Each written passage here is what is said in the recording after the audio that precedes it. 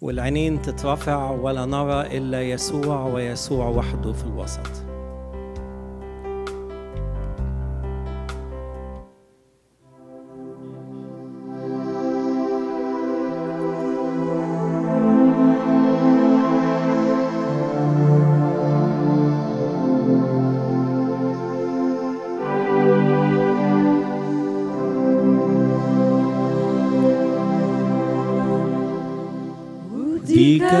أهديك كل المجد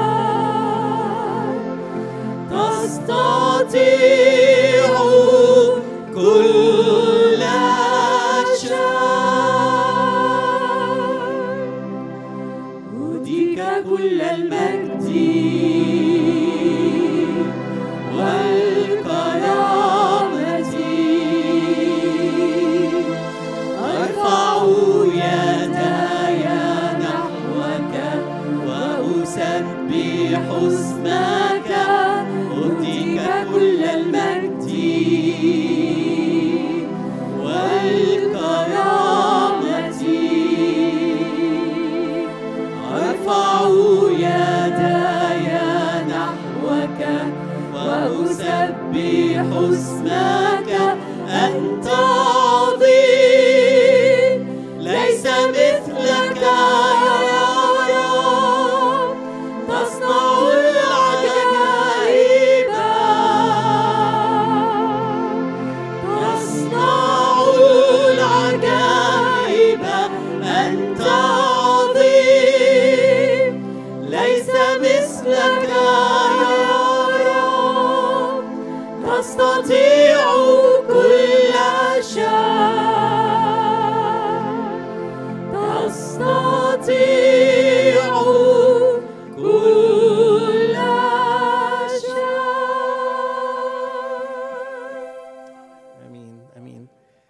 الترنيمه اللي رنمها موسى بعد ما طلع وشافوا جيوش فرعون كلهم موتى على الشاطئ وسبحوا هذه الترنيمه ليس مثلك يا رب ولا مثل لأنك أنت صانع عجائب. فعلا عجيبة عجيبة. كل مركبات فرعون أموات وشعب الرب يعبر يعبر يعبر في وسط البحر وكأنه يابسة والماء من هنا ومن هناك يحاوطهم وتكون لهم النصرة وال- والغلبة على فرعون وعلى كل مركباته. يا رب ادينا لمحة من هذه اللمحات. وإحنا بنشوف العدو مهزوم وإحنا بنشوف إبليس مهزوم وبنشوف إزاي إن الله يستطيع كل شيء ولا يعصر عليه أمر عشان كده بن بنيجي ونقول له في الترنيمه اللي جاية من كل قلبي يا رب باجي. وبحط قلبي قدام عينيك.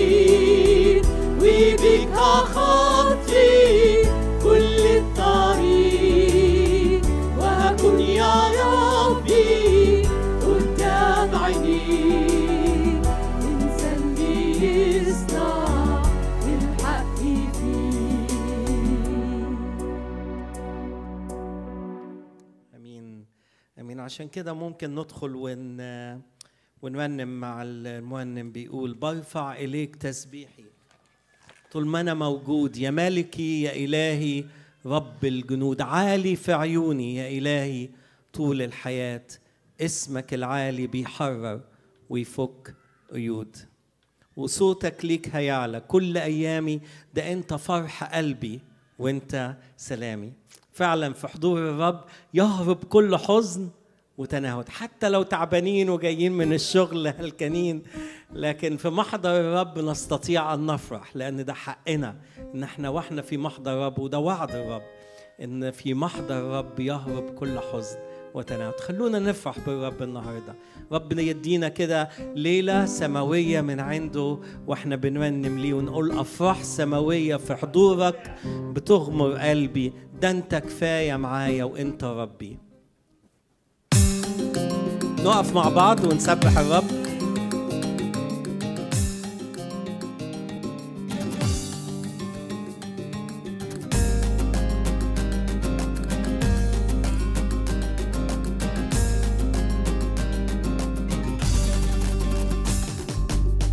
برفع إليك تسبيحي طول ما أنا موجود. يا مالكي يا إلهي رب الوجود. عالي في عيوني يا إلهي طول الحياة. اسمك العالي بيحرر ويفك قيود برفع إليك تسبيحي طول ما أنا موجود.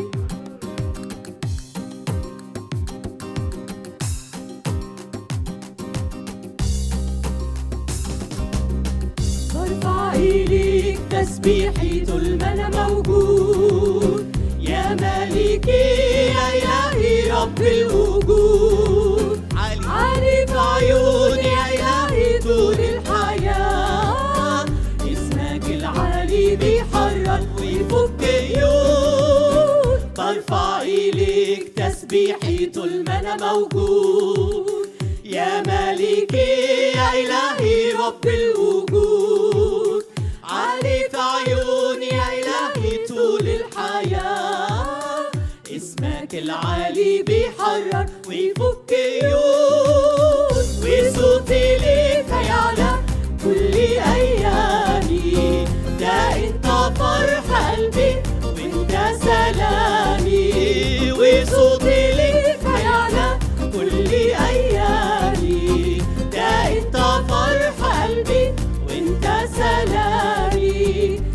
افراح سماويه محضوره بتغمر قلبي كفايه إنك معايا وانت ربي آمين. امين تفضلوا استريحوا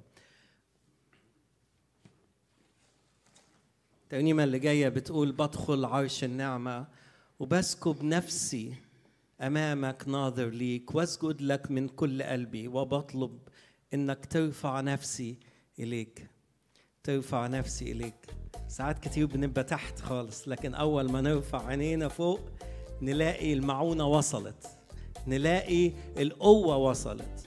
نلاقي ال- القوة من فوق اللي هي تفوق كل عقل تستطيع إنها فعلا تحيينا من جديد وتحيي كل ضعف فينا. عشان كده خلونا النهارده نيجي ونرفع عينينا لفوق. ونقول له يا رب أرفع عيني إلى الجبال من حيث يأتي عوني. لا معونتي هي من عند الرب صانع السماوات والأرض. العرش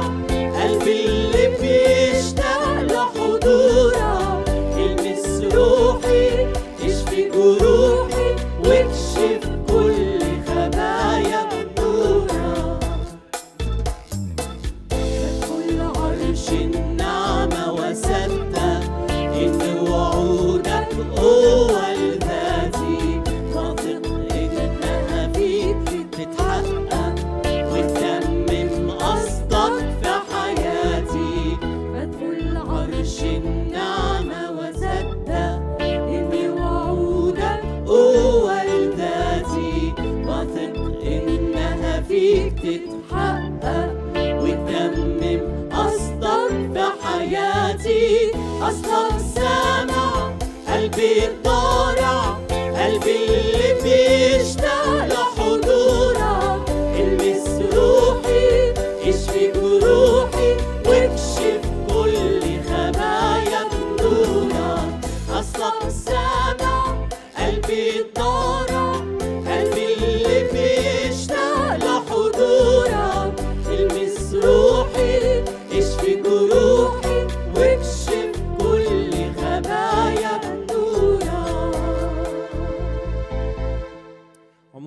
نخاف من نور ربنا لما يجي وي... ويفضح اللي جوانا ويطلع الخبايا اللي جوانا. لأن هو مش عايز. يعرينا وي... ويفضحنا لكن هو عايز يسترنا وعايز يغيرنا وعايز يشفينا من جوه من كل داء جوانا. عشان كده نيجي وإحنا بثقة بندخل إلى عرش النعمة. ونحن ناظرين وجه الرب بوجه إيه؟ مفيش براقع مفيش حاجة نستر بيها وجوهنا لكن ندخل إلى عرش النعمة ونحن نثق في رحمة الله ونعمته. وإحنا نتغير إلى تلك الصورة عينها من مجد إلى مجد. عشان كده خلونا فعلا بثقة وإحنا بندخل آه، في محضر الرب وإحنا ننتظر لمسة من لمسات الرب لقلوبنا والقلوبنا بكلمته يرسل إليها فيشفينا تشفي كلمة الله النفوس لأنها كلمة الله حية وفعالة وأمضى من كل زيف ذي حدين. خلونا ناخد فرصة وإحنا بنسكب قلوبنا قدام الرب قبل ما نختم فرصة عبادتنا بترنيمة وبعد كده نسمع كلمة ربنا. أي حد مشغول إن هو يرفع قلبه ويطلب بركة الرب على باقي فرصة عبادتنا يا ريت يتفضل.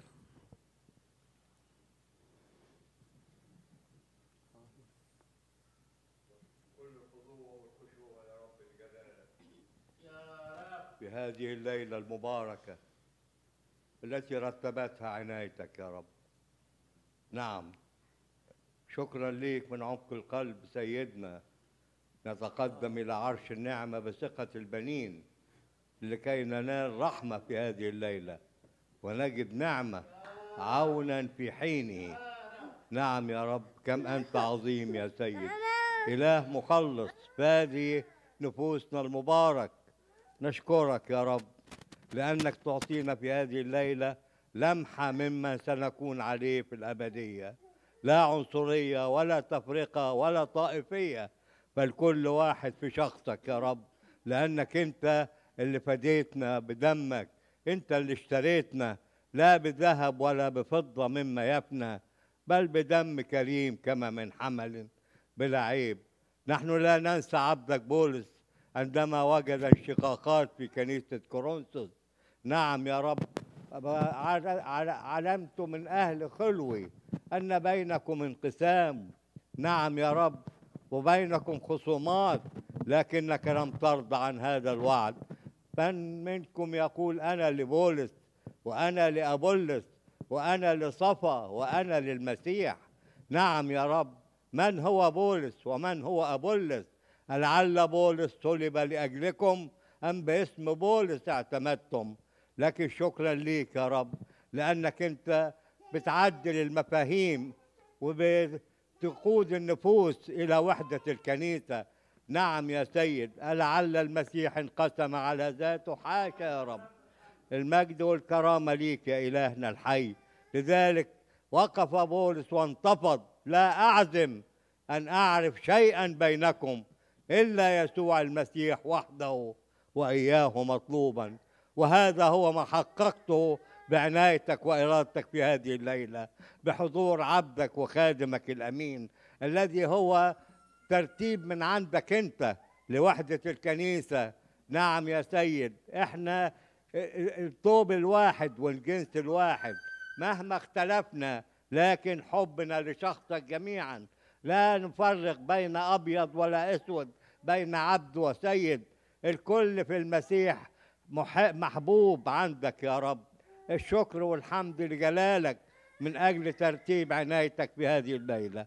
نستودع لعنايتك عبدك وخادمك. إن تباركه وتوسع تخومه وتكون يدك معه وتحفظه من الشر حتى لا يتعبه. ويكون رسالة لتوحيد الكنيسة لا لانقسامها يا رب. تكون رسالة حية لتشهد عن عمل نعمتك في كنيستك.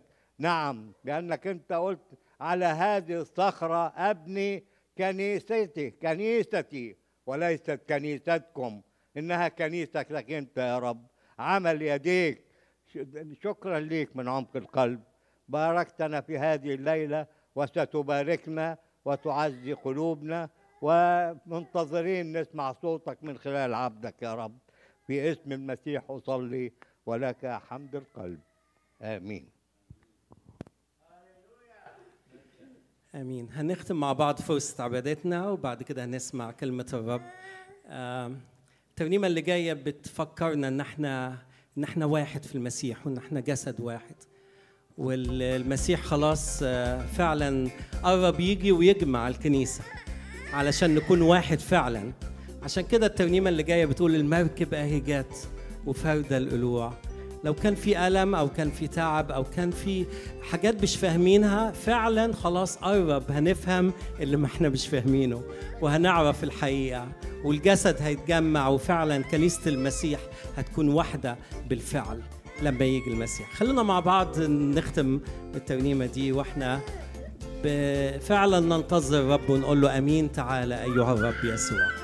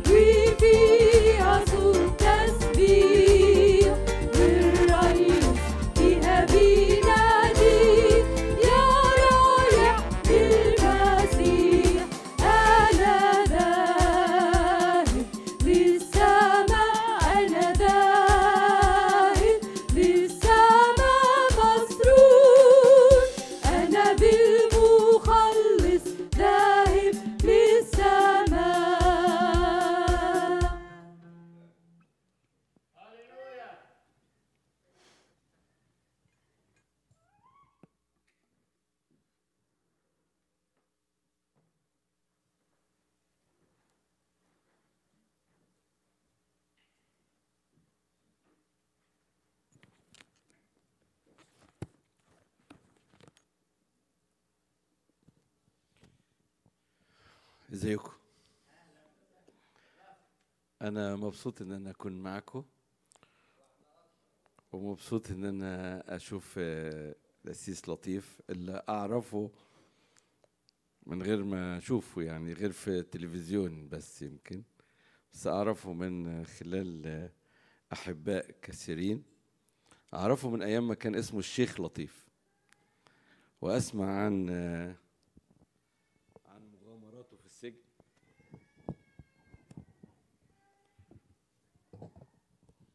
وفي السودان وفي التبشير ومع أخواتنا أولاد العم.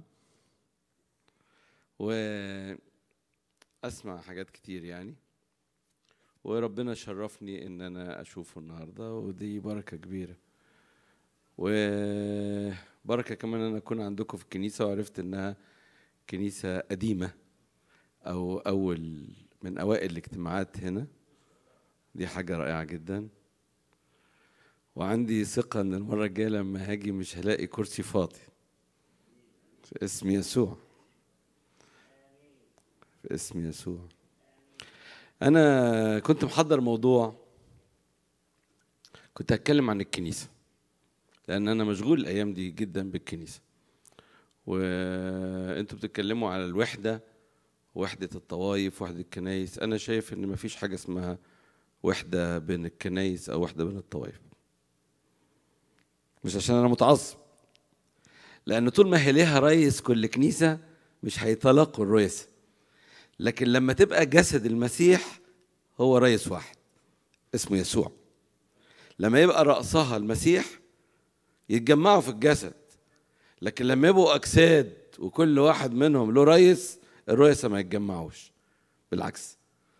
كل واحد عايز يثبت كرسيه فلن تكون هناك وحدة في الطوائف ولكن ستكون هناك وحدة في الجسد. وبدأت وحدة الجسد رغم عن متأسف في التعبيرات اللي أنتوا ناس يعني إيه أنا يعني كده. فاهمين حاجة؟ أنتوا ناس يعني هتلاقوا الكلام اللي بيطلع مني كلام شبابي شوية بطلع بره القطر شوية تزعلوش يعني. استحملوني يعني شوية دول خلاص رغم عن رؤساء أو قيادات أو رياسات طوائف الجسد بيتجمع. لأن رئيس الجسد ده اللي هو يسوع أمر إن في الزمن ده يكون في وحدة جسد. فخلي الرئيس ده يقول كنيستي والتاني يرد عليه يقول لك كنيستي وده يرد على ده يقول له أنتم بتخطف وده يقول له إحنا مش بنخطف أنتوا اللي جهلة وكل واحد يقول للتاني وكل واحد يحمل يعمل بروباجندا اللي مكانه. ولا خليهم يقولوا كده. هو أقصى حاجة عندهم هيبقى كل واحد منهم بيمتلك ميكروفون. لكن مش هيمتلك نفوس. النفوس في واحد دفع ثمنها واشتراها ويدور عليها. هو راعيها وهو أسقفها وهو مش هيسيبها وعشان كده بيناديها وبيجمعها. أنا مش هتكلم على الكنيسة لكن وأنا قاعد دلوقتي ربنا غير الموضوع وقال لي أتكلم عن حاجة تانية. أتكلم عن شخصية بحبها قوي في الكتاب المقدس. واحد يعني تقريبا يعني أكاد أكون بحترمه وبحبه بعد يسوع على طول. اسمه كالب ابن يفنة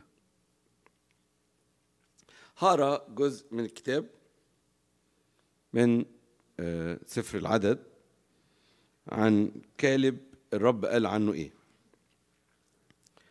من سفر العدد إصحاح 14 ابتداء من عدد 24 بيقول وأما عبدي كالب فمن أجل أنه كانت معه روح أخرى وقد اتبعني تماما أدخله إلى الأرض التي ذهب إليها وزرعه يرثها.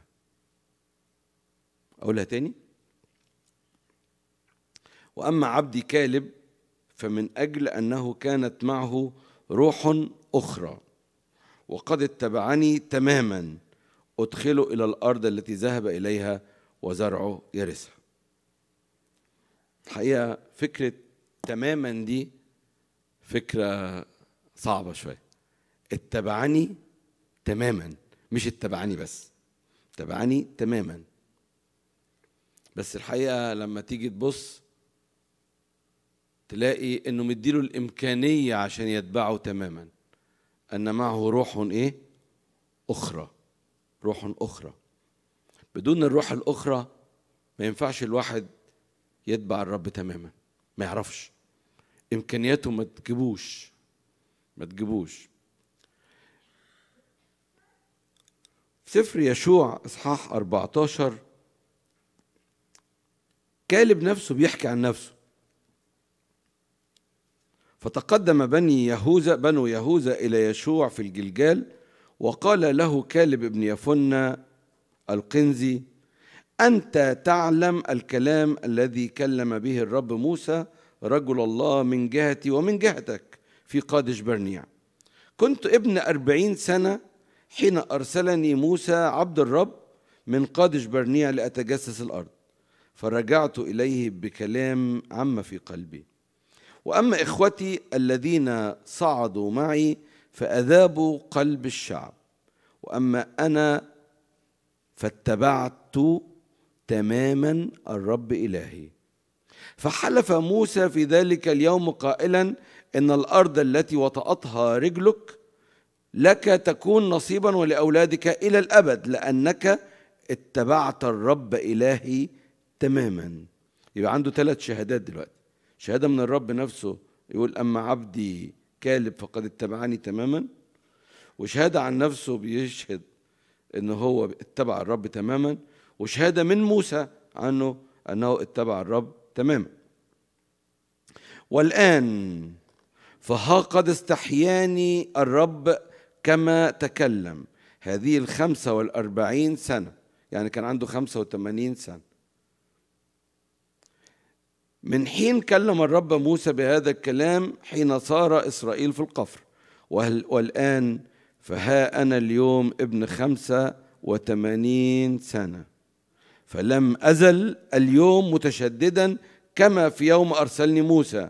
كما كانت قوتي حينئذ هكذا قوتي الآن للحرب وللخروج وللدخول. فالآن أعطني هذا الجبل الذي تكلم عنه الرب. في ذلك اليوم. لأنك أنت سمعت في ذلك اليوم أن العناقين هناك.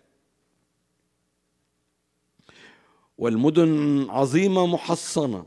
لعل الرب معي فأطردهم كما تكلم الرب. فباركه يشوع وأعطى حبرون لكالب بن يفن ملكا. لذلك صارت حبرون لكالب بن يفن القنزي ملكا إلى هذا اليوم. يقول الكتاب كده. لأنه اتبع تماما الرب إله إسرائيل. والسبح لإلهنا دائما أبديا. أمين.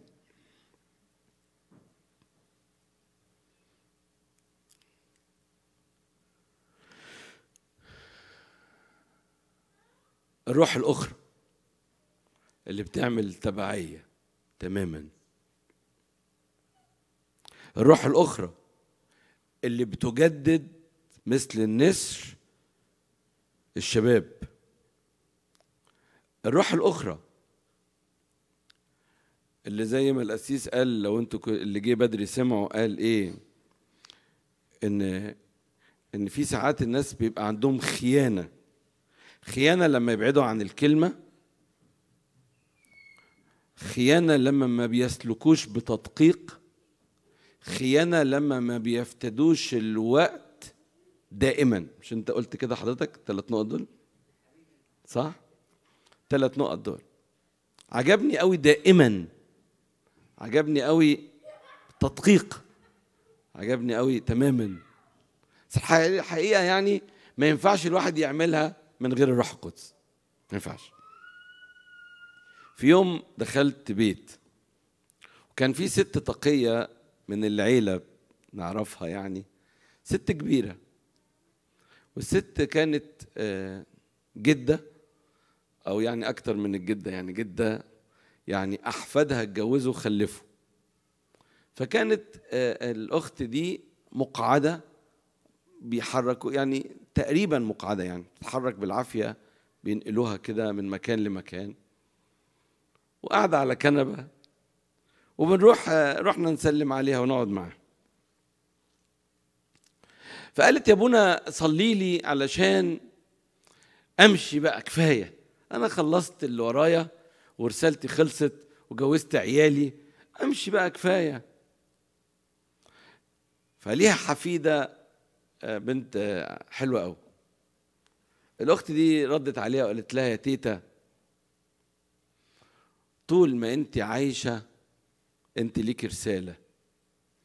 بس مش هتقدري تفهمي ده إلا بروح القدس. اوعي تفتكر إن ربنا مخليكي منظر.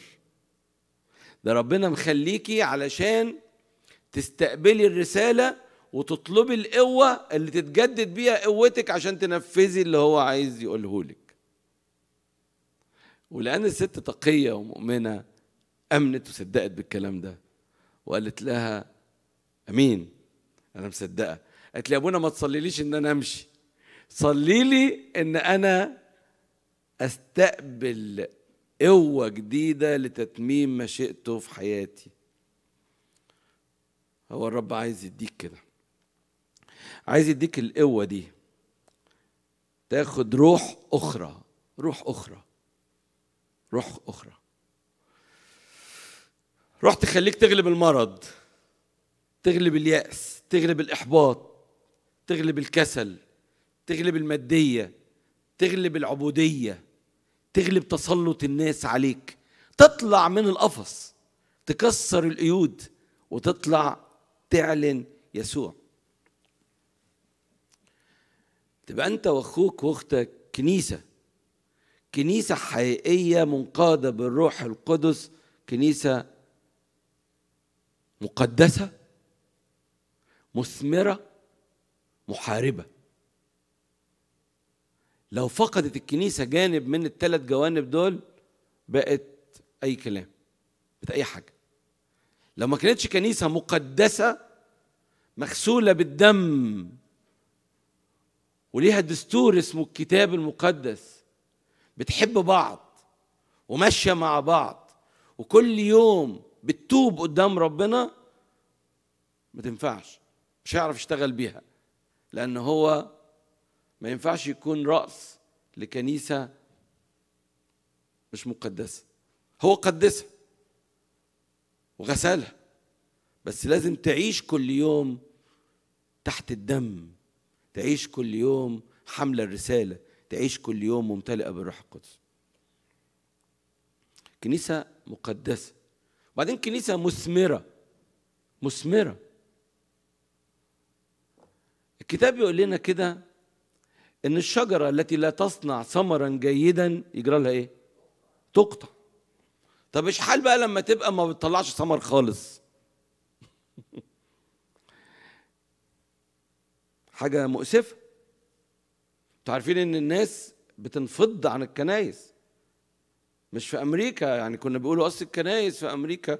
إحنا طبعا إحنا في في مصر بنعمل مؤتمرات بيطلع فيها بيحضر 1000 و2010 و50 ألف زي 11 11 اللي عملناه كده وبنيجي هنا بنلاقي أعداد بسيطة وكده لا ده حتى في مصر ما بقاش الناس بتتجمع والناس المستهدف إن هم زمانهم زمن خدمة وثمر ومعرفة الرب بقوا يتفضوا عن الكنائس ويقعدوا في القهاوي أو يسيبوا الكنائس عارفين ليه؟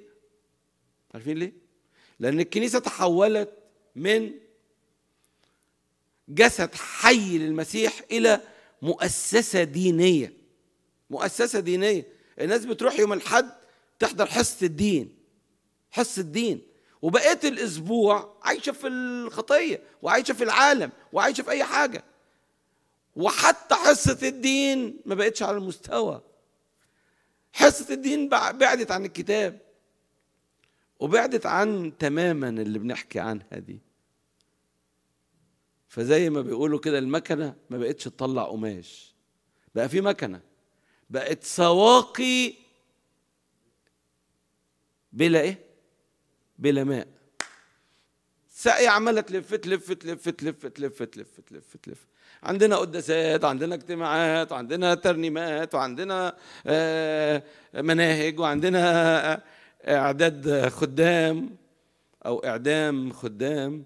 عندنا حاجات كده عندنا مناظر عندنا حاجات أشكال وحاجات. فين الإنتاج؟ فين ال- عارفين آه، كان أبويا يقول لي كده زمان. يقول لي العبرة مش اللي يقعد يذاكر كتير العبرة بدرجات الامتحان. ما تقعدش تقول لي أنا قاعد أنا قاعد أذاكر بقالي 10 ساعات ما تقولش كده. لا. هعرف إنك كنت بتذاكر كويس لما تجيب الدرجة النهائية. ما تجيبش الدرجة النهائية يبقى لا مؤاخذة يعني مش مهم اللي أنت ذاكرته ده. من ثمارهم إيه؟ تعرفونهم. فين الكنيسة؟ فين الكنيسة؟ فين الثمر فين الثمر على المستوى الشخصي؟ على مستوى العيلة؟ على مستوى المجتمع؟ هل ممكن إن الكنيسة تغير المجتمع؟ دي لو الكنيسة ما غيرتش المجتمع يبقى مفيش حاجة هتغيره. ده الرب يسوع ب 12 تلميذ فتنوا المسكونة. الكنيسة لو موجودة في مجتمع وليس لها قيمة أو فاعلية رب هي هيكسرها.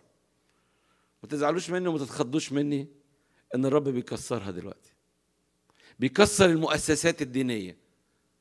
علشان بيعمل جسد حقيقي يطلع من المباني يشتغل ككنيسة بلا جدران تتحد مع بعض في جسد المسيح تمتلئ بالروح القدس تخضع للسيد اللي هو الرب يسوع ليها دستور اسمه كلمة الله هدفها بناء الملكوت في الأرض.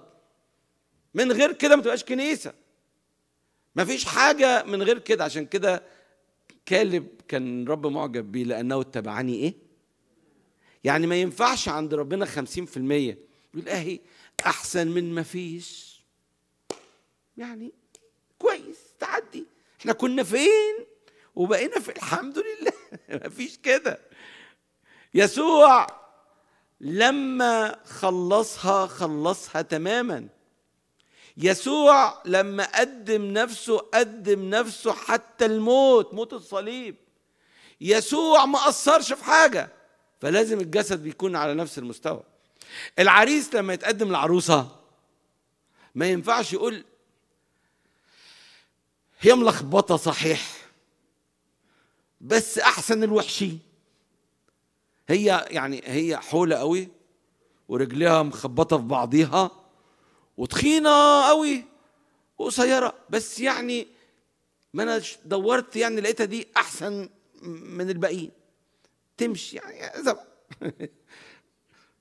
ما ينفعش. يا إما تكون على مزاجه وعلى الصورة اللي تشبع قلبه وتشبع كيانه يا إما ما تنفعش. زي العريس بتاعنا ده ما هو كامل هو هيجي ياخد عروسة كاملة. ما ينفعش تبقى عروسة نص لبة كده. ما ينفعش. لازم تكون عروسة على مستوى العريس. عشان كده هو سهران يعمل ده. كنيسة تتبعه إيه؟ تماما.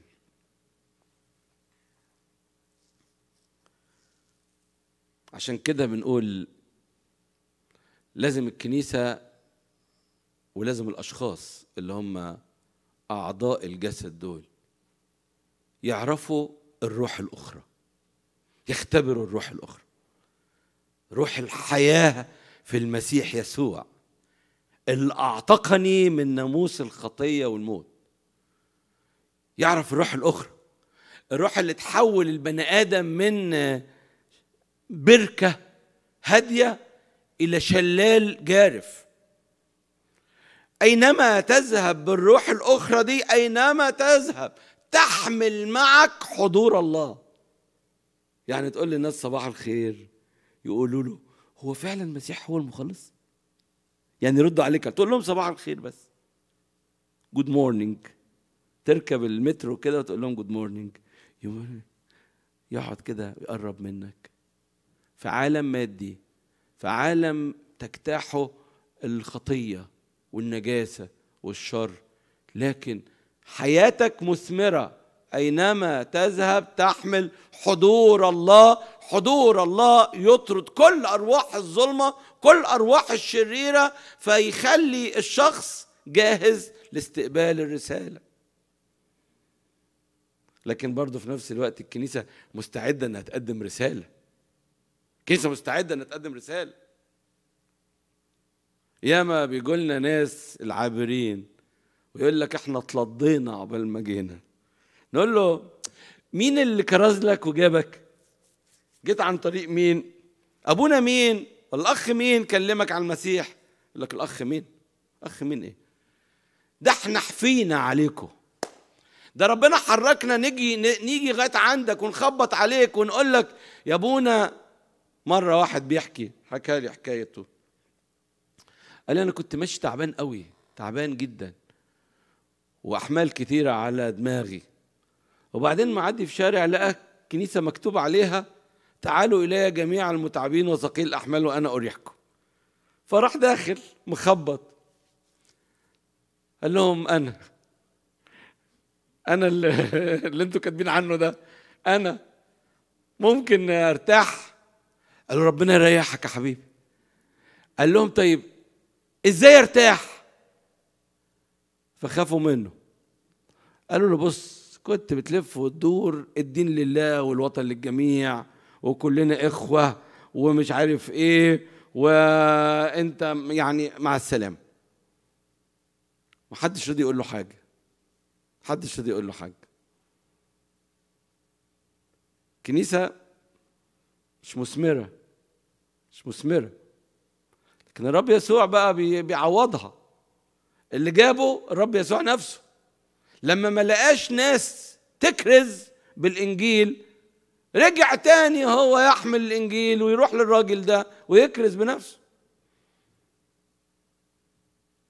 افتكر وأنا في ليبيا كنت أنا خدمت في طرابلس ليبيا سبع سنين ونص. كان عندي ناس كتير وشعب كتير. شعبي يزيد عن عشرين ألف عيلة.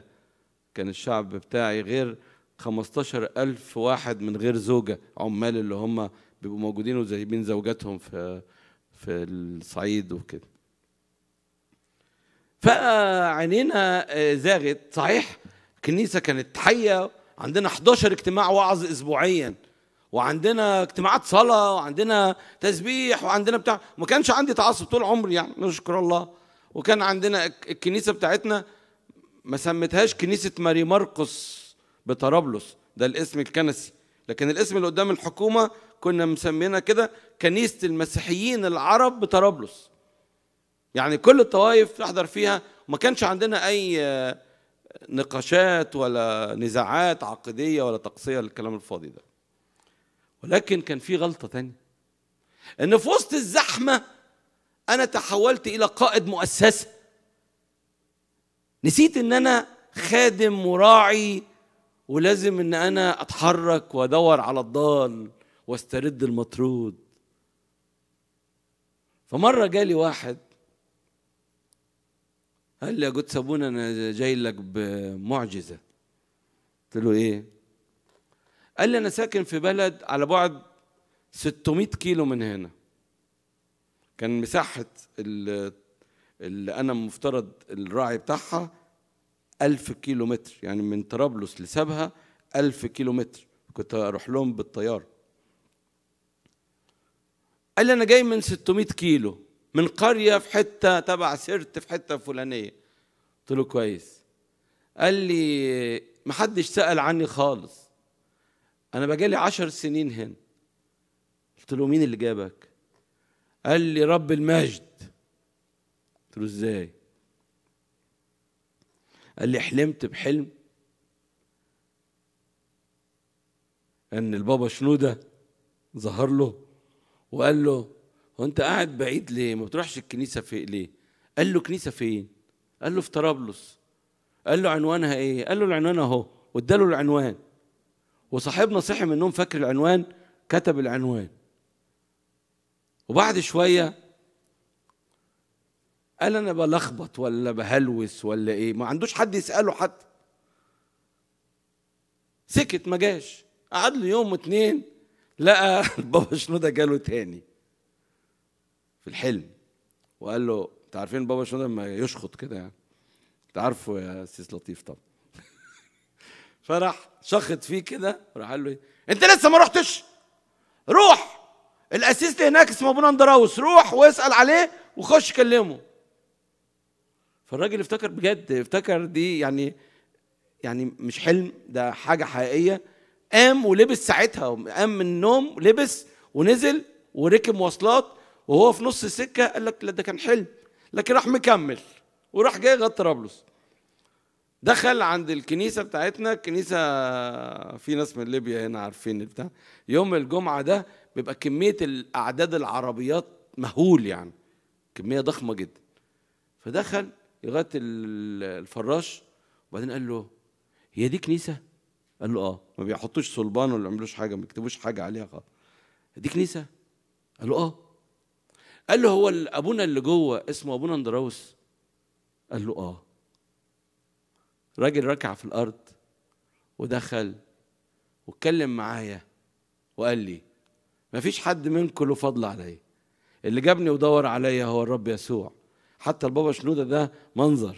ده البابا شنودة ده كأن الرب بعته علشان يعرفني يعرفني إن أنا أرجع وأنضم للكنيسة. حاجة مخزية حاجة تكسف إن إحنا مش بندور على الناس. كنيسة الحقيقية لازم تكون منقادة بالروح القدس. كنيسة بتصلي كنيسة متحدة. كنيسة أنا حقيقة مبسوط قوي إن أنا جيت هنا كاليفورنيا دي تالت سنة باجي فيها وشفت حاجات وسجلت برامج وعملت حاجات كتيرة. بس زعلان قوي إن كنايس وعددها مش كتير يعني. لكن كل كنيسة يقول لك تعالى روح الكنيسة الفلانية. تعالى هناخدك نروح الكنيسة الفلانية. طيب أخش الكنيسة ألاقي 15 20 واحد. طب ما تحط يعني في قسيس واحد عنده كنيستين. يعني كنيس قسيس عنده كنيستين. الكنيستين يبعدوا عن بعض 30 40 كيلو. والعربيات هنا نشكر الله كويسه قوي يعني. الكنيسة دي فيها 20 واحد والكنيسة الثانية فيها 30 واحد. طب ما وجايب واحد متكلم وخادم وبتاع. طب ما سألته سؤال طب ما نجمعهم ونعمل لهم اجتماع واحد و... يعني أنا هاجي اجتماع وأمشي. لكن لا ما ينفعش. ما بيحبوش يجوا لبعض. إيه؟ ما يحبوش يروحوا عند بعض. ما بيحبوش. ليه؟ أنا كنت بعرف إن الأرثوذكس ما بيحبوش يروحوا للبروتستانت لكن البروتستانت كمان ما بيروحوش للبروتستانت دي تبقى مصيبة. دي بقى تبقى حاجة صعبة. صعبة. حاجة مؤسفة جدا. العلاج يا جماعة إن إحنا يبقى لينا روح واحد. حينما نسقى روحا واحدا نبقى أعضاء بعضنا لبعض. الكنيسة بتاعت أعمال الرسل كنيسة ليها خمس شروط والخمسة واضحين قوي. مواظبين على التعليم وعلى الشركة وعلى الصلوات وعلى كسر الخبز. وكان كل بين كل شيء بينهم مشترك. كان ليهم صندوق واحد بيحطوا فيه فلوس يعيشوا فيها مع بعض. دي أعمال الرسل. الإصحاح الثاني ابتداء من عدد 42 يا ترى إحنا الكنيسة دي محتاجين نبقى كده عشان نبقى زي كالب نتبع الرب إيه؟ تماما. كيف أمتلئ بالروح القدس علشان يبقى معايا روح أخرى؟ أقدر أقول أحقق الكلام الصعب اللي اتحط ده. على فكرة الروح القدس مختلفين عليه في الكنائس والأقنوم المضطهد في الكنائس. يعني الحمد لله حصلت وحدة بين الثلاث طوائف على اضطهاد الروح القدس. لما حبوا يتحدوا اتحدوا ضد الروح القدس. لكن ابتدى ربنا يعمل حاجة جديدة. طبعا أنا ما بقول كده ما بقولش بصفة عامة لكن في استثناءات كتيرة. لكن قعدوا سابوا سابوا فعالية الروح القدس. سابوا الحياة اللي بالروح القدس وابتدوا يقولوا بقى هو الروح القدس مواهب ولا ثمار هو اختبار ولا نمو في الحياة الروحية هو وقعدوا يتخانقوا في المواضيع دي وسابوا الروح القدس. الشيطان طبعا مبسوط قوي الروح القدس هو روح الله روح الله اللي عايز يتعامل معاك. زي ما الرب يسوع جه وخبط على بابك وقال لك ممكن أدخل قلبك أخلصك أديك حياة. قلت له آمين. بيجي الروح القدس برضو الأقنوم. اقنوم الحياة ويقول لك ممكن أخلي حياتك خاضعه تماما ليسوع فيسوع يبقى هو السيد عليك.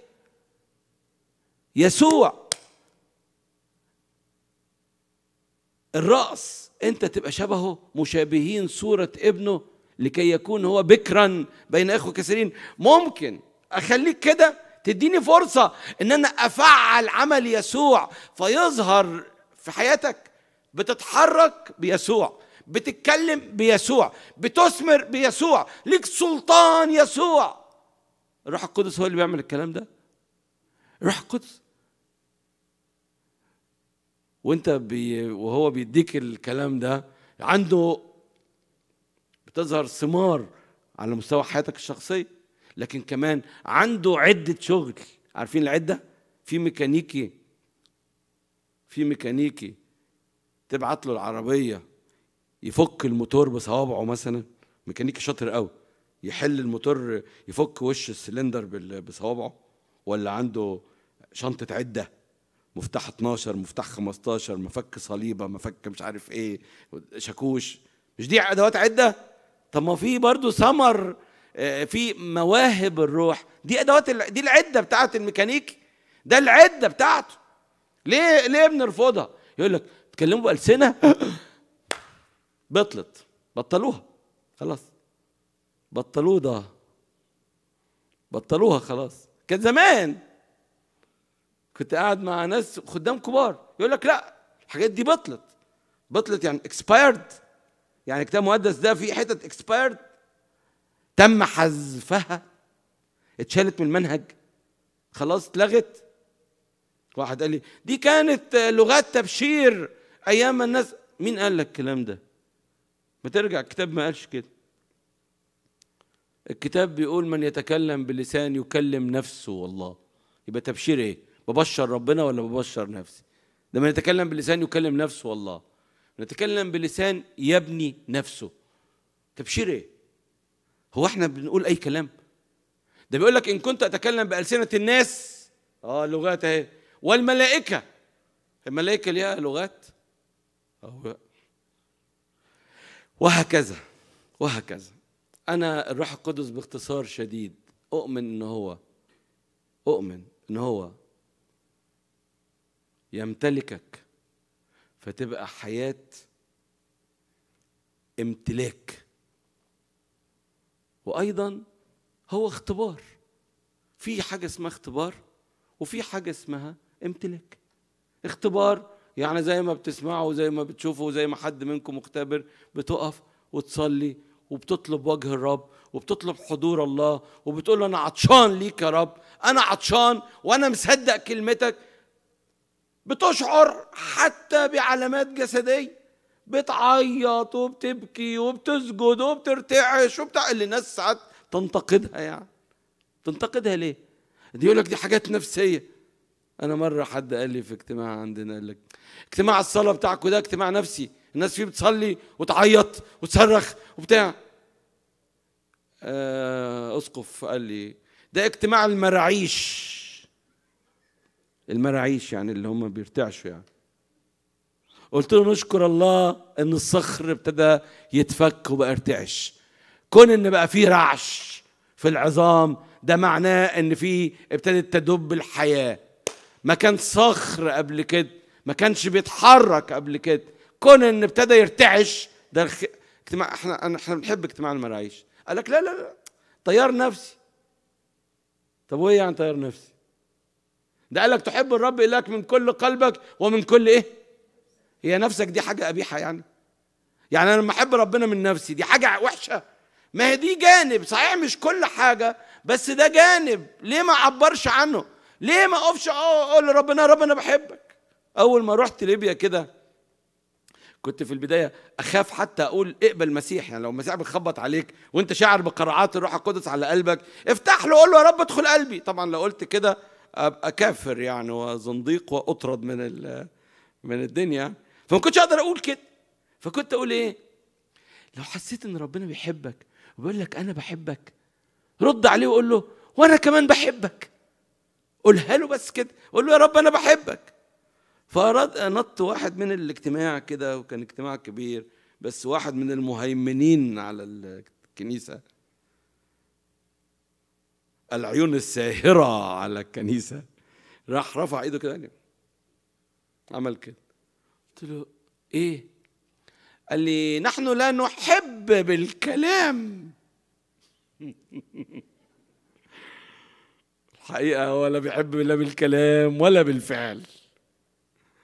أنا عايز أقول إن الروح القدس شخص حي بيعدي على كل واحد. تعبان وعيان وضعيف وعجوز ومش قادر يثمر وكحيان بس عارف عن نفسه ده. عارف عن نفسه إن بدونك لا نقدر أن نفعل إيه؟ فبيقول له آه عطشان. عطشت نفسي إليك يا الله. عطشان. إن عطش أحد فليقبل إلي وإيه؟ ومن آمن بي كما قال الكتاب تجري من بطنه أنهار ماء حي. قال هذا عن الروح القدس. أنا عطشان. أيوه يا رب هسيبك يعني هتسيبني كده. هتسيبني فقران وكحيان وتعبان وبكرة زي امبارح زي أول امبارح. حياتي ما فيهاش تجديد ما فيهاش تغيير ما فيهاش إسمار ما فيهاش نصرة ما فيهاش حاجة. حياتي كده أنا مش هسكت. وهو يقول لك وأنا مش هسكت. ده أنا جاي علشانك. يمتلكك. ولما يمتلكك لما آه، تختبره. ولما تختبره لما تختبر القوة دي بعد كده كل يوم تدخل لعمق جديد تقعد مع الكلمة. في ناس بقى غلطانة بقى بتقف عند حتة النفسية دي. أنا خدت اختبار وهللويا ها؟ سنة مش عارف إمتى لقت واتكلمت بألسنة. خلاص خلص. الموضوع خلص على كده. ودلوقتي دلوقتي بيروح القهوة يشرب شيشة يوما ما اختبرت. ودلوقتي عشان كده بنقول إن كان في اختبار لازم يكون في حياة اللي بنسميها الامتلاء هو امتلاك للروح القدس. تدي للروح القدس حق إنك أنت بقيت ملكه. هو كان الاختبار ده اللي أنت دقته ده عقد بس التمليك اللي أنت سلمته نفسك إن هو يمتلكك بالكامل. أنا تحت أمرك. افعل بيا ما يحسن في عينيك. عارف لما تديله بقى كل يوم حق إن هو يمتلك الأرض؟ تبقى زي كالب ابن يفنة تتبع الرب تماما. ممكن يقول لك حاجات غريبة. يطلب منك مطالب صعبة. لكن تقول نصعد إليها لنمتلكها لأننا قادرون عليها. مفيش مفيش حاجة اسمها فشل يجي قدامك. مفيش مفيش حاجة اسمها صعبة تيجي قدامك. هو يقدر يديك إمكانيات إنك أنت تنتصر. الحتة التالتة اللي أنا قلتها كنيسة محاربة. يعني الكنيسة الأولانية تكون إيه؟ مقدسة. فكركم بيها. التقديس ده حاجتين. في قداسة بالإيمان وفي قداسة عملية. الدم اللي انت قبلته خلاك مقدس رغم انك انت مش مقدس لكن في نظر الله انت كامل وطاهر ومقدس. هو بيشوفك في دم ابنه ما دام قبلت المسيح. لكن في نفس الوقت انت ما تقفش عند الحتة دي. كان دايما الأرثوذكس يعايبوا على البروتستانت يقول لك آه اقبل المسيح وافعل ما شئت. لا. اللي بيح... اللي بيقبل المسيح ما يعرفش يفعل مشيئته إن هو يكون فيما لابيه مشيئتي أن أكون فيما لابي المشيئة تتغير. لما أنا بقبل المسيح طبيعتي بتتغير. بكره الخطية وبرفض الخطية ولو الخطية قربت مني أنا بقاومها. قاوموا إبليس فيهرب إيه منكم بس ممكن أضعف وممكن أقع. لما أقع أقوم. لا تشمتي بي عدوتي إذ سقطت أقوم. لما أقوم بقى دي وأتوب دي اللي اسمها القداسة العملية. نمرة اتنين دي القداسة. نمرة اتنين الإيه؟ الإثمار اتكلمت عنه نمرة ثلاثة الحرب الروحية. الحرب الروحية. الشخص الممتلئ بالروح القدس ده أنتوا شفتوا في كالب بيقول ليشوع إيه؟ بيقول له أنا زي الأمس. يعني أنا دلوقتي عندي 85 سنة. يعني أنا زي الأمس. زي يوم ما كان عندي 40 سنة وموسى اداني الوعد ده وقال إن حبرون دي بتاعتي. ها؟ أنا عايز أخدها. كمان بيقول له يعني كمان أنا عايز أقول لك حاجة. أنا سمعت إن الجبل ده بيسكنوا مين؟ حد فاكر؟ العناقين. العناقين دول اللي هم بني عناق. بني عناق دول ناس أشرار جدا. ناس طوال كده ورقبتهم طويلة. ناس يعني سفاحين. ها؟ الكتاب يقول لنا في حتة كده يقول لك إيه؟ من يقف أمام بني عناق. مين يقدر يقف أمام بني عناق؟ هنا عم كالب وهو عنده 85 سنة يقول له اديني حبرون لأن فيها بني عناق. يعني عايز يقول إيه؟ مين عندكم هيقدر يحررها. ها؟ دي ملها يعني دي معلش دي فيها بني عناق يعني فيها الناس الجبابرة الأشرار المفترين قوي اللي الناس هتخاف منهم. لكن أنا أقدر عليها. زي ما دخلت قبل كده الأرض هدخل بني عناق وحررها. آه بني عناق. دي ده شخص الممتلئ بالروح القدس. مفيش حاجة بتعثر عليه. الأبواب المغلقة تتفتح لأنه هو بيؤمر بالإيمان وبينتهر قوات الظلمة وبيحارب وما بينسحبش. ما ينفعش لمبة تبقى موجودة في حتة مظلمة وتقول إيه ياه دي الضلمة كتير عليا مش هعرف أشتغل. الضلمة كتيرة. يعني أنا من ساعة ما دخلت كل واحد قابلني يقول لي أصل كاليفورنيا دي يا أبونا بلاد صعبة أوي. طب ما تسيبها وتمشي. حاجة من الاتنين. يا تسيبها وتمشي يا تغيرها. لكن كل واحد قاعد فيها وبقاله سنين طويلة يقول لك بلد آه، تأكل سكانها. آه، زي ما قالوا كده. لا غيرها. ما دام ربنا سمح إنك أنت تكون رجل الله وموجود فيها يبقى لازم تغيرها. لازم تغيرها. أنت كل مشكلتك بس عارف إيه؟ إنك سراج موضوع تحت مكيال. سراج موضوع تحت مكيال. ما ينفعش. اطلع اتحط على المنارة فتضيء لكل من في البيت. اعرف انك انت ملك سيدك مش ملك العالم. ما في صبعك مش تحت ضرس حد. قوم اشهد عن الرب يسوع. قوم اكرز قوم اخدم.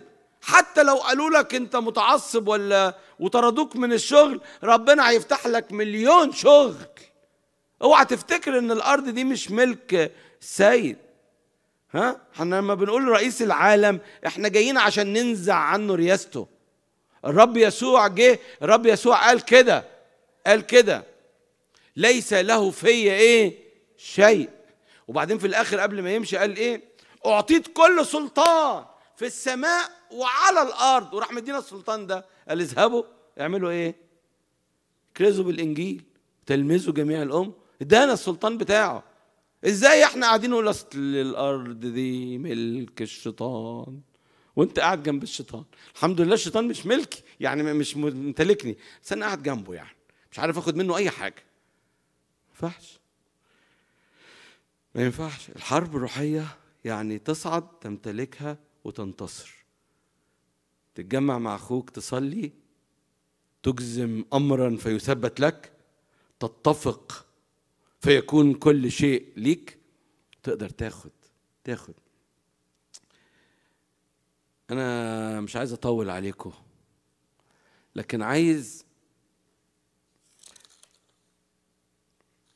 الموضوع يتحول إلى اختبار مش وعظ. ما تبقاش كلام. أنا مش عارف نظام كنيستكم يسمح ولا ما يسمحش ما أعرفش. لا مش بتكلم على الوقت. أنا بتكلم. هل النظام يسمح إنك تيجي تركع وتطلب إنك تمتلئ بالروح القدس؟ هل تقبل؟ وحتى لو النظام يسمح هل أنت تسمح؟ هل أنت مشتاق ومحتاج إنك تطلع من حالة الضعف ومن حالة الفتور ومن حالة عدم الإثمار ومن حالة الهزيمة المتكررة إلى قوة انشطارية مغيرة لكل حتة بتمشي تحمل معك حضور الله. أينما ذهبت؟ أينما ذهبت؟ أنا عندنا واحد في الكنيسة في ال... إحنا أنا أسيس بقالي 26 سنة في الكنيسة الأرثوذكسية. لكن قريب قوي من سنتين كده الرب شغلني إن إحنا نعمل كنيسة في البيت. جمعنا شباب بس كنيسة كنيسة مش اجتماع مش اجتماع في البيت. في فرق بين اجتماع وكنيسة. كنيسة يعني اللي هي المقومات الخمس. مواظبين على تعليم رسل على الشركة على الصلوات على كسر الخبز على الصندوق الواحد. بنحط عشورنا فيه في الكنيسة دي عشان ما فيش واحد من المجموعة دي يبقى عنده احتياج. جربنا ده. من ضمن الكنيسة بتاعتنا واحد أينما ذهب. يعني يركب الطيارة. ما يجي يركب الطيارة ويسافر. يقول له يا رب أنا ببني مسبح للرب. الكرسي ده مسبح للرب. أنت هنا حاضر على الكرسي ده. ده بيقولها بمنتهى البساطة وبمنتهى الإيمان. الراجل اللي يجي يقعد جنبه على الكرسي يفرفر. على طول يفك على طول. يروح مكلمه على ربع ما ياخدش ثانية. وأينما ذهب يركب آه، آه، العربية بتاعته يقول الكرسي بتاعي ده الرب يسوع قاعد فيه. لو حد جه ركب خلاص كهرب. يعرف الرب. هو ماشي وحامل حضور الله. هو ماشي وحاطط في دماغه إن هو بيبني الملكوت. شريك الرب يسوع أو تحت سلطان الرب يسوع في بناء الملكوت. قلنا كنيسة إيه؟ مقدسة نمرة اتنين. مثمرة. نمرة ثلاثة محاربة أو محررة أو فعالة. ما ينفعش زي ما كنت بقول لمبة تبقى موجودة وتقول الضلمة كتير عليا. ده نور شمعة واحدة تغلب ضلمة العالم كله؟ اللي يخلي النور يتغلب إذا كان النور اللي فيك ظلام. بس. هو الرب قال كده. إذا كان النور الذي فيكم ظلام فالظلام بقى يا عيني إيه؟ كم يكون؟ لكن لو أنت اللي عندك نور مفيش ضلمة العالم كلها. لو اتجمعت ما تقدرش تقف قدام ال- النور بتاعك. إحنا نفسنا لو ظروفكم تسمح والقسيس يسمح ونظام الكنيسة يسمح أنا ما أعرفش. ناخد فرصة صلاة. ونقول له يا رب حول الكلام إلى حياة. حول النظريات إلى لمسات وإعلانات. حول اللي تحكينا فيه ده إلى اختبار جديد يدخلني أرض جديدة وبعد جديد. ومدام أنا لسه عايش يبقى لسه ليا دور وليا رسالة وهصعد إليها لأمتلكها لأني قادر عليها. أمين. أنا يعني أسيب الأسيس ي- يقودكم في الفترة اللي جاية. اتفضل حضرتك الأسيس.